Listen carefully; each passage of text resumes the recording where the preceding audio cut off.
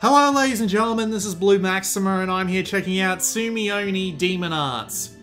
This originally came out around the launch window of the Vita. It didn't come out in the first wave of games, but it came out really, really close after. So this is uh, definitely a better late than never. I wanted to do at least one today so I didn't feel like I was wasting my time. So Away we go. I'm gonna have to load my data in first, because this game's way of loading and saving data is really freaking weird, and I don't know why. But we've loaded the game in, so now we can go have a look at everything else.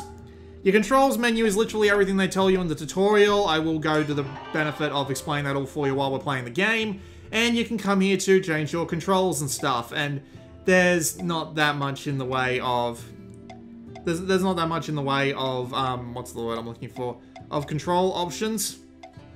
It's, it's a little weird, the options that you have, especially considering the game's control scheme is an absolute nightmare at times, but we'll work with it. You can come here rankings to check your scores on the individual stages, but even despite the fact that I've done a fair few of these stages already, it still won't actually mark my score, and I don't know why. I'm not entirely sure what the deal is there. Maybe I have to go through the individual stages twice. And of course, we have a gallery for art and music and stuff, but the art and the music in this game aren't very good.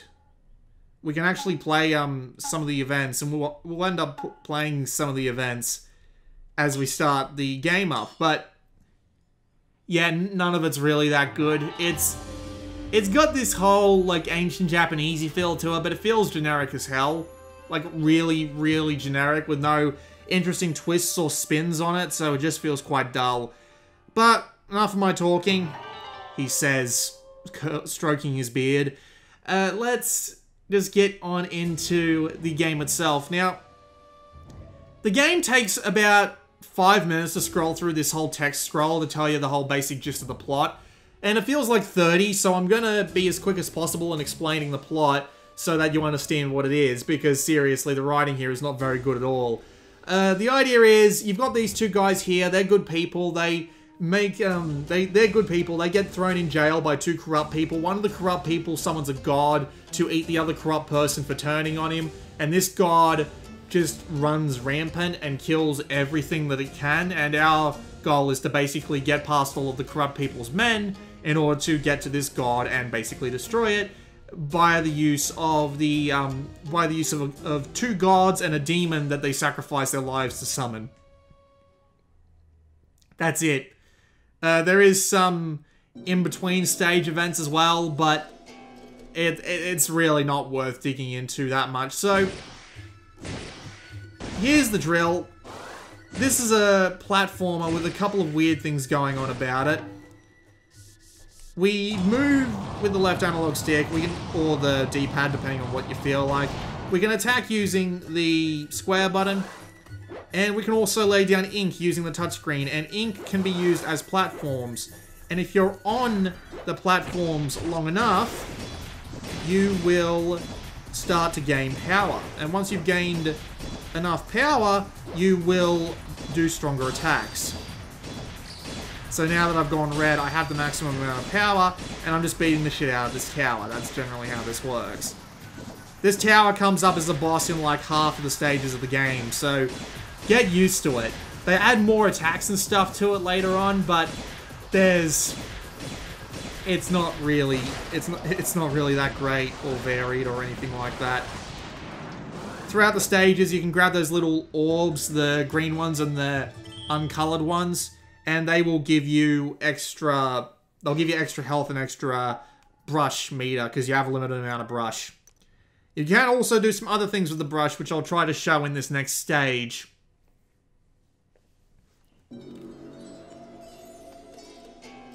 The setting sun. Alright, let's go.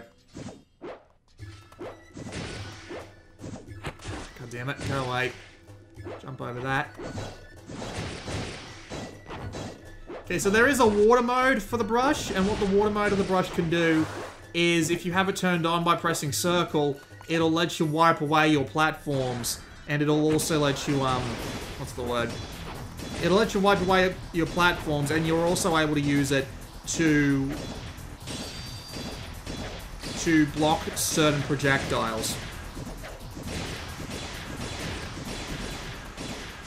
Oh, damn it. Now, if you hit the L button, you can do a few extra things as well. You can do lines while you hit the L button, and that makes fire, and if you hold it down... Oh, hang on, I gotta get some back. If you hold it down, you'll create a lightning cloud, which will, of course, do a lightning bolt. Which doesn't actually do much damage in comparison to fire, so I don't entirely know why it's there. You might as well just do fire the entire time.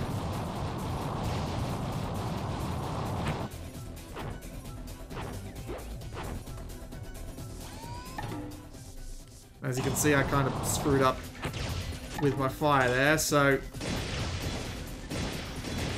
You can disable certain elements of the tower by hitting them enough. As you can see, I've taken out one of the archer platforms. But later on, the towers get absolutely ridiculous just due to how much hit points they have for absolutely everything. It takes an age to successfully kill them off. And this is a game where getting high ratings relies on your not only how little damage you take, but how much time you take. So it's surprisingly frustrating trying to get something like this done.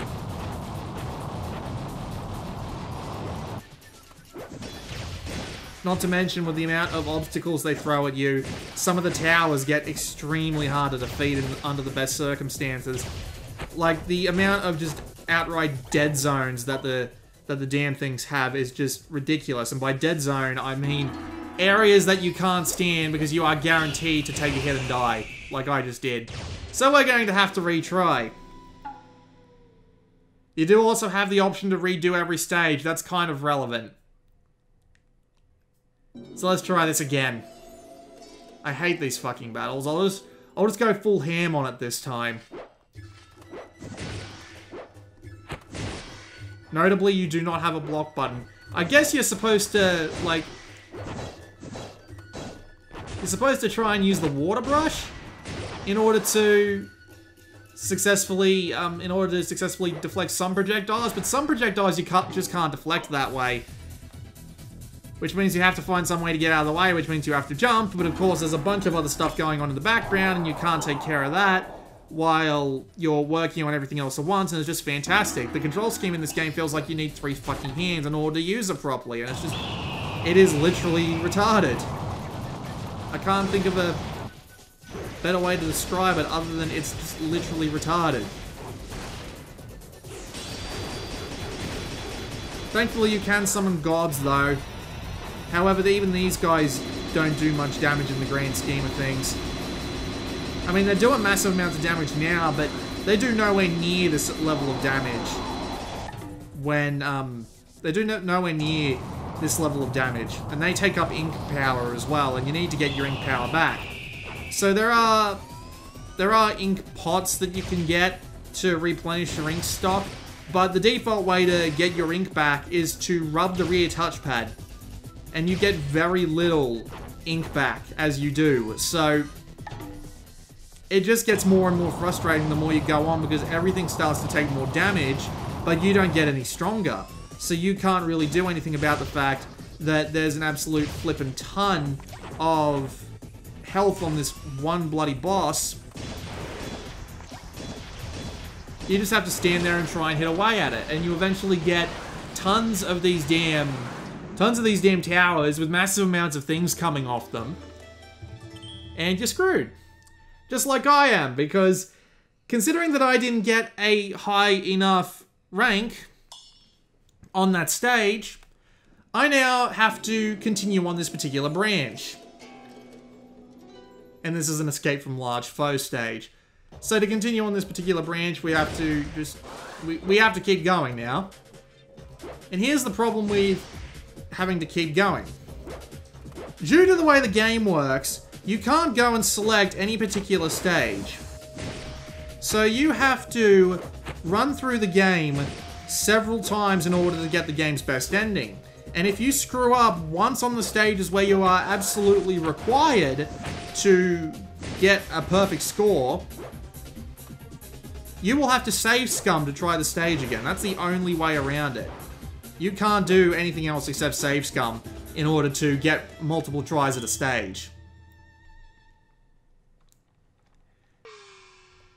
And with the control scheme being as annoying as it is, it hurts your hands to play it for longer than a few minutes at a time because you have to keep your hands on the X and square buttons in order to jump properly, but you also need to be rubbing the rear touchpad to get all your to get all your energy back. You also need to be you also need to be using the touchscreen in order to you also need to be using the touchscreen to draw all the ink that's required in order to actually hurt people or at least get close to them in stages like this where you literally just have to where you literally have to build platforms up on, on up towards the goal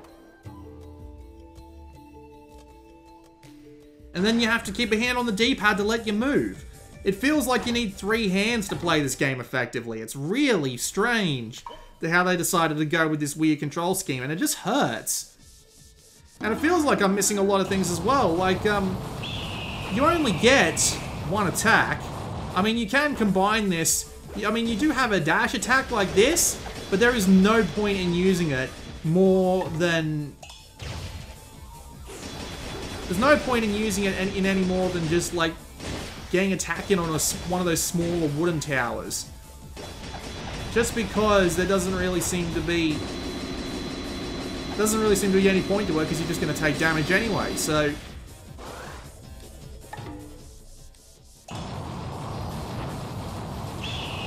It's just really annoying. And since you don't seem to do any sort of, like, leveling up or unlocking of new techniques or anything, it just gets duller and duller by the second. It just... Like, this stage here, it doesn't really feel like there's anything I can do than stand around here and just try and beat the shit out of the tower from this far away while while guarding my guard dog. That's all that really feels relevant in this game. And also, now that he's been knocked back, he's going to fire off his super beam, and it's nowhere near the tower, so it's not going to do any damage to it, because fuck everything.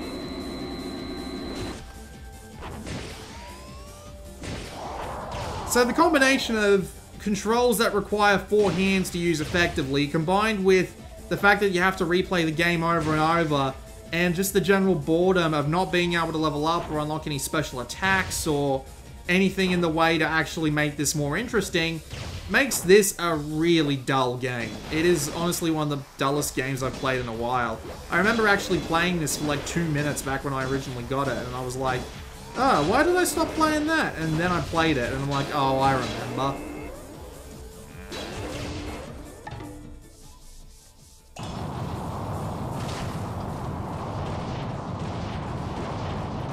Stage I needed to get the high score on in order not to get to the worst ending in the game. Yeah, I think it was.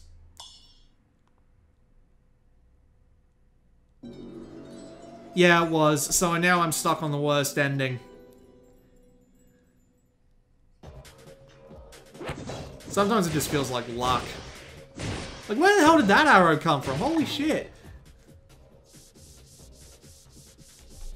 Really does feel like luck sometimes, whether you actually stand a chance of getting a good score or not. There's also that problem with the game's gameplay just being really unsatisfying. Just, it feels like you're swinging your weapons right through them. It doesn't really seem to...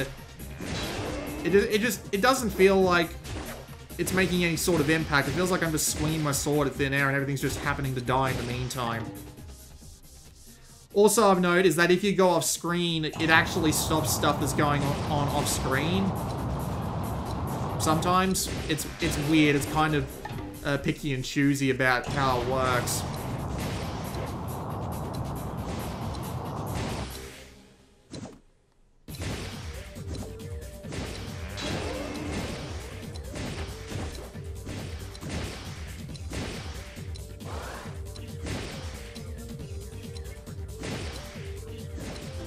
We got one more stage, and that will let me see the... That will let me see the big boss, and I have seen this boss again in a later area, and it just has a absolute ton of health, and it's just, uh... Uh, no. I, I'm really not looking forward to fighting this boss. This boss is just retarded.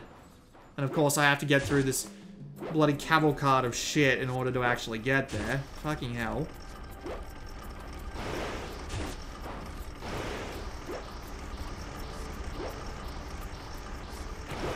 Oh yeah, I remember. I actually have to beat these guys, don't I? Okay, all the fire there, some fire there. Just get that out of the sky then.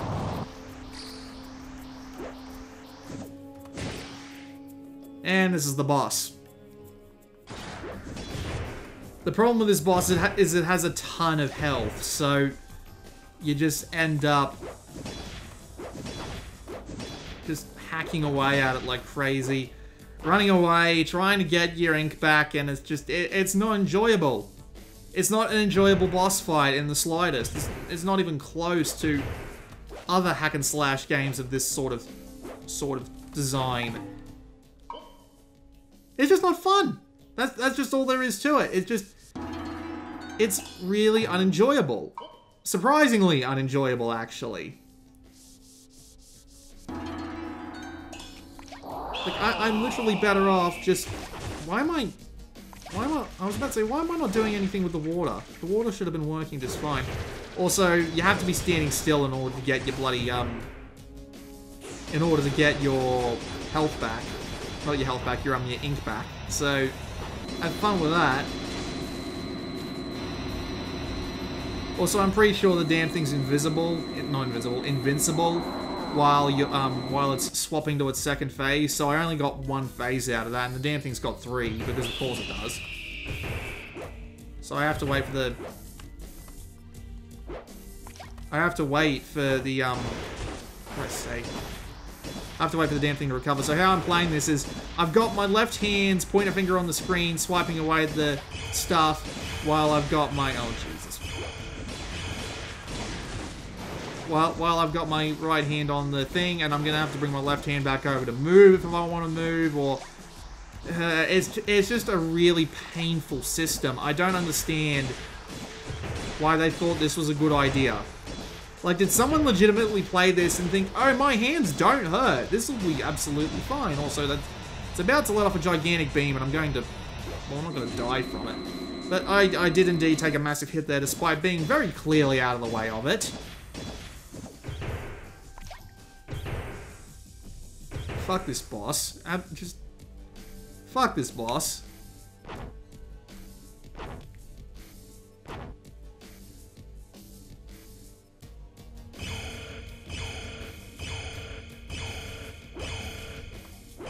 Oh, come on. Yeah, I'm not doing that again. I hate this game. I hate this game. It's it's got absolutely no variety. It requires you to run through it multiple times with only one chance to get to a lower branch. Well, actually, no, there's a couple of chances sometimes, but still, you get like one chance to go to the lower branches most of the time. And the combat isn't fun. It feels like you need four hands to make it work properly and the presentation is just nowhere near top notch. It's a pretty bad game from Acquire. and I recently did a Akiba's Beat video, so it just kind of feels like I've come full circle. This has been Blue Maxima, and I will see you all next time.